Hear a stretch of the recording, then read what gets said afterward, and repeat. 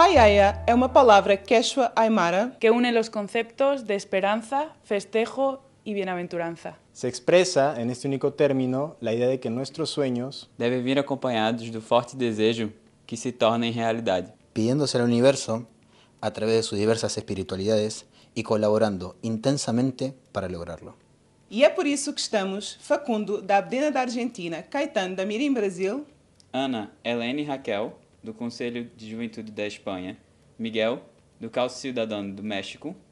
Jaime, de Grupo Génesis Panamá Positivo, y el Derice, del Consejo Nacional de la Juventud de Portugal, Todas ellas trabajando juntas, porque las transformaciones se hacen hoy, en un mundo donde no somos peligrosas, sino que estamos en peligro. Lastimadas en nuestro derecho a la vida, a la educación, al trabajo, al ocio, a la identidad y la diversidad, a la emancipación y al futuro. Y ante ello nos unimos en el proyecto AINI.